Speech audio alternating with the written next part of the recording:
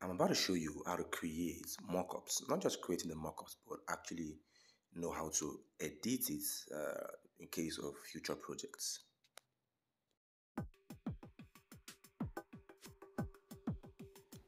And the application that we're going to be using for this um, design is the Alight Motion application. So um, let's go back and create new project. So click on create new project. I'm going to name this um, debit card. The reason is because when you want to come back for um, maybe you want to re-edit it and put in other maybe another business card sorry debit card then you know that this is the debit card mockup. So you don't get to start looking for it. So this is debit card. And um, the aspect ratio I'm going to choose here is just let me choose this aspect ratio. And yeah make sure you have 2160 pixels which is 4k that is 4k pixels. And um, transparent and 30 frames per second so create new project. What you want to do here is to actually pull out the shape which is rectangular shape and you know scale up or just use these three dots right here and stretch the screen. Once you're done with that just make it um, white for now.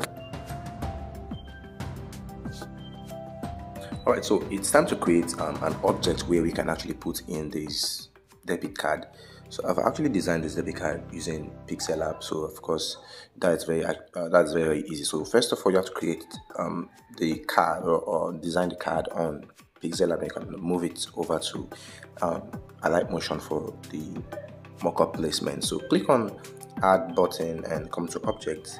Now create an empty group. And on this empty group, this is where you import the um, first of all click on the group one which you can call it the the business card sorry the debit card. Debit or insert. The card here. Right so once it's named click on edit group. Now we're actually on the group right now. So come here come to media now I have the card right here, so I want to click on this card. And of course you can see, so the card is already here. So I want to scale down. Scale down. Now you can decide whether to have it as rounded edges because right now it's actually pointed edges. So it's purely rectangular right here. So if you want to make it rounded, if you want to, if you want to have a round edge, all you have to do is just pull out this rounded edge rectangle, click on it, and scale till it fits, you know, the edges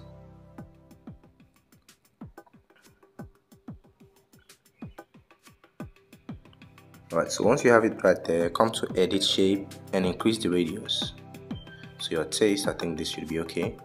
And the next thing is to actually mask. So copy the two and come to mask, which is this one in the center, and we have it. So the next thing is to actually go back. So click on the debit card and go back. So we have it right here. Now it's time for the positioning. So come over. Now we have to choose a background color and uh, so um, just click on the background which is the rectangle. Call this the background. Background. Then we have to choose a color. Now this color should be related to you know something you know closer to black. So come to edit color. Then you can move this up a bit so it doesn't have to be all black. Then come to the insert business card here and um, scale down scale down to your taste. I think this should be okay. Then we have to move it. Still come to positioning and come to move. So move it over to this edge. And so the next thing is to actually come to the effects option come to add effects and come to distortion and warp and go down to tiles. So click on tiles. So when, once you have it just click on the standard and here we have it. Now come to crop because now it's you know it's all just packed together come to crop and reduce the you know take it down a bit. And once you have it set then um, go back and apply some rotation. Alright so this is 20 degree rotation. I move this up a bit and we are good to go. And the next thing is to actually you know make this more realistic by putting shadows under it. So come to border and shadow come to this one right here this one down here then activate the shadow. And come to positioning all right? So uh, position uh, in terms of x um, let's take it down a bit. Take it down. And come to y. Y coordinate take it down. Uh, take it up rather so it looks as if it's actually coming down then reduce the opacity just a bit. I think let's still take this down a bit. Increase the alpha. Right, so once you have that set you can still uh, you know, adjust the background just to make sure it's okay. Yeah I think this is okay. I mean I'm good to go. And you know the mockup is ready so you can actually save it right here come to this icon and come to current frame as png and export it. Come to save. Now the question is what if you have another project that you want to use?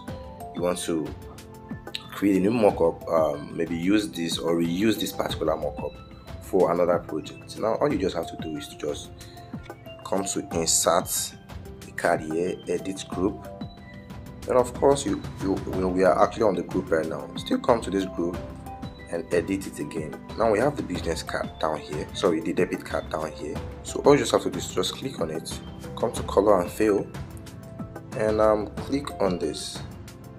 And it's going to give you option to choose. So let me say I designed this. So just come to add. So it's been added. All I just have to do is to just go back alright so go back to insert card here and go back to the debit card. Of course you can see it but now the background is not that pleasant. So we need to you know um, uh, go for another color. You can choose to go for this which is still nice.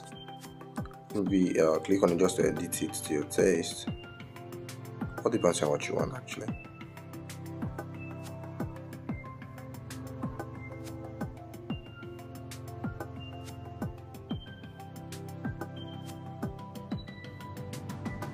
I think this should be okay. And here we have it. So you can you you know you can reuse this over and over again. And yeah so um if you haven't you know I've you know I actually make, made a video with Alight Motion okay where I um, created a logo mockup right so you can actually watch that. The link will be in the description. And I'm going to put out more and more videos and create you know mockups using Alight Motion. So I will see you in the next tutorial